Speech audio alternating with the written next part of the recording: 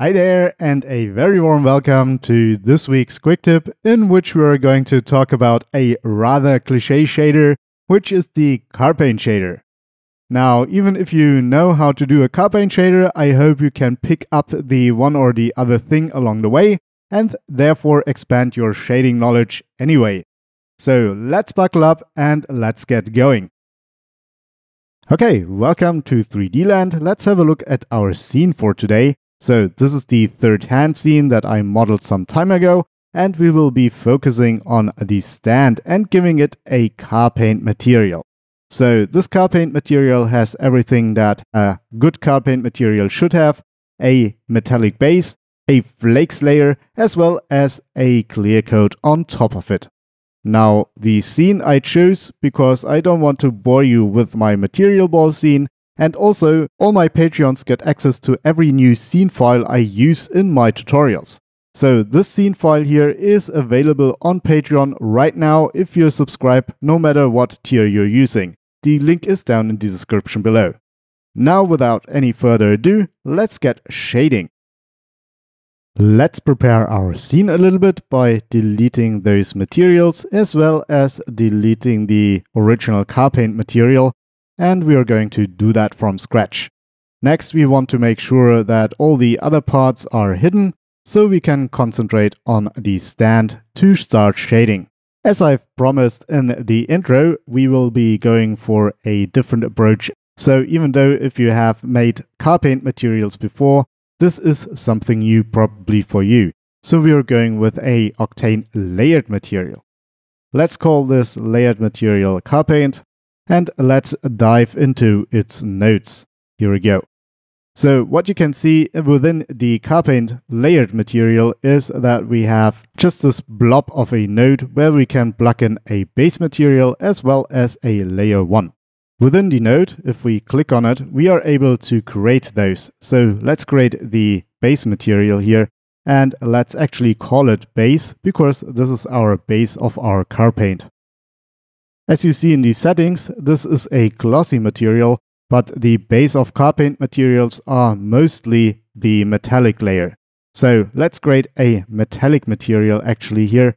And while we are at it, let's change the BRDF model here to GGX Energy Preserving. Now, if you're not familiar with BRDF models, I made a tutorial on this topic. The link is in the upper right corner of this video right now.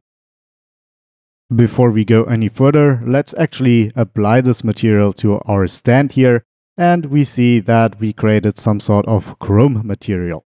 Now, small disclaimer here, we are creating a very basic car paint material. You can go infinitely complex with those, but we will just be creating a three-part car paint material that is rather basic, but if done right, looks pretty good on almost any object. There are two things that a base material in a car paint shader has. One thing is roughness, so let's dial up the roughness to maybe 0.4. We can change this later on, but for now it seems to be a good starting point. And then the other thing is this is the layer where your coloring of your car paint comes into play. Whatever color your car has is done here. So let's go to the specular layer and create a RGB spectrum here and then dial in some bluish color as we had that in the beginning. So maybe we start with 0.2, 0.4 and 0.8 maybe. So don't make this too bright as there's always some energy loss when light is hitting materials and you get heat from that for example. Okay, this is a great start. So actually, let's do the coating layer next before we jump into the flakes, because the flakes are the most complicated layer there is inside of a car paint material. So to do the coating, actually it's rather simple. You just have to know one thing. Obviously, we are dealing with the layer 1 here. So let's go to the layer 1 and add a layer. Now, there's a plethora of materials you can add, and some of the materials sound familiar, what you might be looking for is a glossy material, but it's not listed here. And this is because, if you think about it, a car paint clear coat is basically clear and see-through. So what you actually want to do is go with a specular material. So here we go. We have a specular material on top and let's make sure it's the right IOR. Yes, it is. And if we move our camera now and move it and wiggle it around here, you can see now on top of our roughness, we have a clear coat layer that gives us a shiny reflection. And with the IOR, we actually make sure that the reflection strength is the right amount. So if we have a smaller IOR, the reflection is weaker. You can see that here a little bit. And if we go for a unnatural high IOR, for example, 2, the reflection is stronger and the material gets a unnatural high direct reflection here. So let's dial it back to 1.5 again. This is already the time to add our flakes layer. And the flakes layer comes in between the base and the clear coat. So let's actually call this clear coat. Here we go. To make a layer here, we click on the car paint and then go to basic and actually add a number here, so 3. Now the last layer adds on the last part or on the top of the material. So since we want the flakes layer to be in between, let's actually take our clear coat and pipe it into the last layer here, which is the most top layer on our car paint shader. The material of the flakes is also metallic in nature, so what we need to do is go to layer 1, add layer, metallic layer. Here we go. So let's make place for the flakes here. And basically what's happening right now is that the metallic layer here overrides the base layer, which is okay since we are dealing with the setup of our flakes for now. Let's call this layer flakes. Here we go. And then let's care about the flaky look here.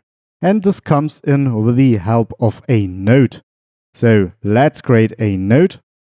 And oh wonder, it is called flakes. Here we go, flakes.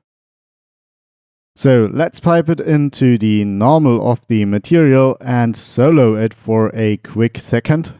What you might need to know is that this is a procedural shader and it can be a bit computational heavy at first when you start it. Please have patience when you first plug it into the material as it might not show up right away. So once we have that, you can see that those flakes are enormous and huge. So we need to make them smaller. Also, we need to find a way to make them a little bit more organic so we don't have those seams here. So when you have those problems, it's always a good idea to try if the triplanar method here is working. So let's try this here by giving the material a projection, setting the projection to triplanar, and then what we also need is the triplanar node after the material, otherwise it won't work. So let's call for that shader and triplanar. Here we go. Let's fit it in here. And also maybe let's get rid of the transform port so it looks more slick. Now, as you've seen here, the flakes are gone and this is because we are soloing our flakes instead of the triplanar. So let's try this one here. And as I've said, this is a procedural effect and the calculation might need some time here. Now, the flakes have gone even larger, so let's actually get a transformation going here. Transform. Here we go. And let's make this reasonably small. So as you might have noticed, Octane loves small values. So let's go with 0.00375 or something. I obviously tested that before, and this gives us our nicely scaled flakes. Last thing I want to do to this branch is go to the triplanar here and set the blend angle from 5 degrees to 25 degrees. And here we go. Now let's display that without the solo. Sometimes you have to do stuff like this to make it work, or even reload the scene. Alright, here we go. So Octane can sometimes act a little bit flaky on that. Let's deal with the material properties. So since we have circular flakes as well as portions where the reflection is still straight, what we could do is get the color from our base, feed it in here, and then this becomes our base. So we have both in one material combined, the flakes as well as the straight parts. One problem arises if we want to distinguish the flakes, for example, with a different roughness. Speaking of roughness, let's actually dial that into the flakes material. So let's go to basic and don't forget to switch the BSDF material to GGX energy preserving. Then go to roughness and set it to the same roughness as our base 0.4. Now you can see that this makes the flakes a little bit too dull. So we want to separate out those flakes from our base material. Let's cut the connection here again and duplicate this material and get the connection going with the specular for this one here. So let's actually make it a little bit brighter in color. So we go with 0.6 and 0.4. Here we go. So same rough hue, but the color is a little bit lighter. Also, let's dial back the roughness. So we don't want to have a roughness of 0, but also we don't want to have a roughness of 0.4. So let's go with the middle 0.2. Here we go. Let's actually deal with the separation of our flakes from the base layer. So we need a alpha or a opacity layer that tells apart these circular shapes from the rest of the normal map.